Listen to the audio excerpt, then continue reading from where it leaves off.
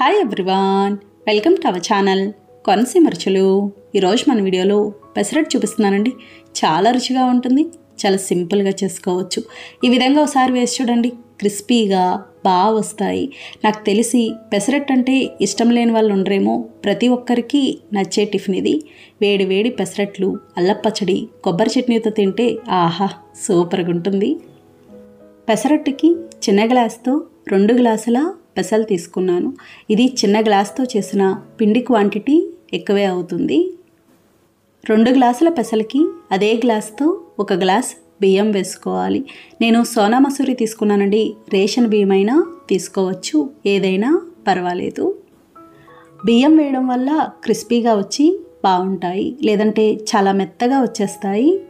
ఇందులో తగినన్ని నీళ్ళు పోసి ఒక్క ఐదు గంటల పాటు నానబెట్టుకోవాలి మరీ ఎక్కువసేపు కూడా అవసరం ఉండదు ఐదు గంటల తర్వాత ఈ విధంగా ఉంటాయి. చూడండి ఇవి ఇలా బాగా నాని కదా? ఇలా నానితే సరిపోతుంది. పెసలు చాలా త్వరగా నానిపోతాయండి. మరీ ఎక్కువసేపు నానబెట్టినా మీకు అట్లు మెత్తగా వచ్చేస్తాయి క్రిస్పీగా ఉండవు.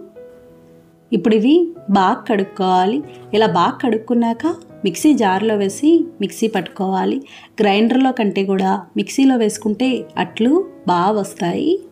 ఇలా కొద్ది కొద్దిగా వేసి మిక్సీ పట్టుకోవాలండి. ఒకేసారి ఎక్కువ వేసుకోకూడదు. ఇందులో పావు స్పూన్ పసుపు కొద్దిగా నీళ్ళు పోసుకొని మెత్తగా మిక్సీ పట్టుకోవాలి. బాగా మెత్తగా ఉండాలి.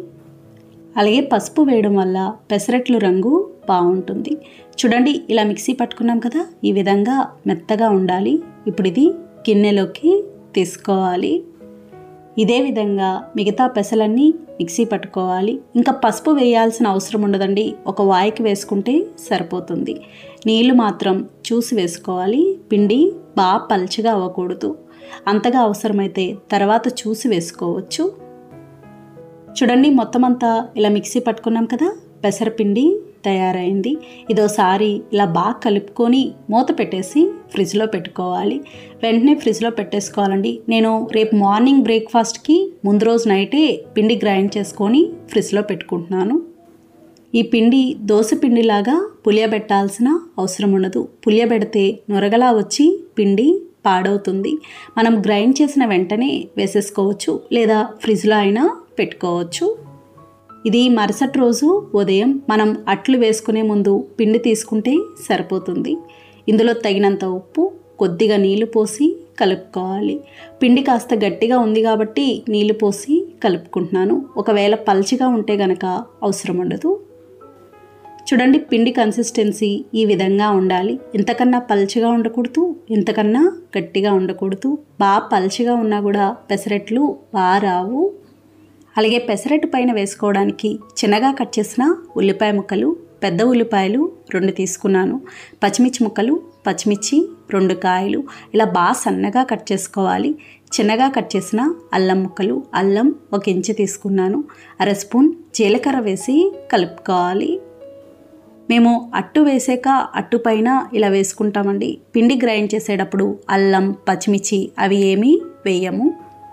ఇప్పుడు పెసరట్టు వేసుకుందాం. స్టవ్ ఆన్ చేసి పెనం పెట్టుకోవాలి. పెనం వేడవ్వాలి. పెనం బాగా వేడిగా ఉండాలండి. ఇలా వేడయ్యాక హై ఫ్లేమ్లో పెట్టి రెండు గరిటెల పిండి వేసుకోవాలి. ఒకవేళ మీది చిన్న పెనం అనుకోండి గరిట కానీ గరిటన్నర పిండి కానీ సరిపోతుంది. ఇది బాగా పల్చగా ఉండకూడదు అలా బాగా మందంగా ఉండకూడదు సమానంగా ఉండాలి. మరీ పల్చగా ఉన్నా కూడా అంత బాగుండదు. ఈ విధంగా అట్టు వేసుకోవాలి. ఇలా అట్టు వేసుకున్నాక మనం ముందుగా కలిపి ఉంచుకున్న ఉల్లిపాయ ముక్కలు వేసుకోవాలి. ఇవి వేసుకొని నూనె వేసి కాల్చుకోవాలి. హై ఫ్లేమ్లోనే ఉండాలండి. మంట తగ్గించాల్సిన అవసరం ఉండదు. చూడండి ఇది ఇలా బాగా కాలింది కదా. ఒకవైపు కాలితే సరిపోతుంది. రెండో వైపు అవసరం ఉండదు. ఇప్పుడు ఇది ప్లేట్లోకి తీసుకోవాలి. చూడండి ఎంత చక్కగా వచ్చిందో. ఈ రంగుంటే పెసరట్టు బాగుంటుంది. ఇదే విధంగా మిగతా పెసరట్లన్నీ వేసుకోవాలి. దోశకైనా పెసరట్టుకైనా రెండో అట్టు వేసేటప్పుడు పెనాన్ని టిష్యూతో కానీ ఏదైనా క్లాత్తో కానీ తుడిచి అప్పుడు వేసుకోవాలి. అలా వేసుకోవడం వల్ల మీకు అట్లు బాగా వస్తాయి. లేదంటే మొదట అట్టుకి వేసిన నూనె ఉండిపోతుంది కదండి ఆ నూనె ఉండిపోయి ఈ అట్టు సరిగ్గా రాదు. ప్రతి అట్టుకి అంతేనండి ఇలా తుడిచి వేసుకుంటే మీకు అన్నీ బాగా వస్తాయి. అలాగే మూడు నాలుగు అట్లు వేసాక ఒకసారి నీళ్ళు చల్లి మళ్ళీ క్లాత్తో కానీ టిష్యూతో కానీ తుడిచి వేసుకున్నా అంటుకోకుండా బాగా వస్తాయి చూడండి ఇది కూడా ఇలా బాగా కాలింది కదా? ఇప్పుడు ఇది ప్లేట్లోకి తీసుకోవాలి. ఇంతేనండి పెసరట్టు తయారైంది. పెసరట్టుకి బెస్ట్ కాంబినేషన్ చట్నీ అల్లపచ్చడి కొబ్బరి చట్నీ. ఇవి రెండు చాలా బాగుంటాయి. ఈ చట్నీల వీడియోలు కూడా మన ఛానల్లో ఉన్నాయి. చూసారు కదా ఫ్రెండ్స్ చాలా సులభంగా తయారు చేసుకున్నాం. నచ్చిందండి వీడియో మీకు? నచ్చితే లైక్ చేయండి షేర్ చేయండి కామెంట్ చేయండి. Thank you for watching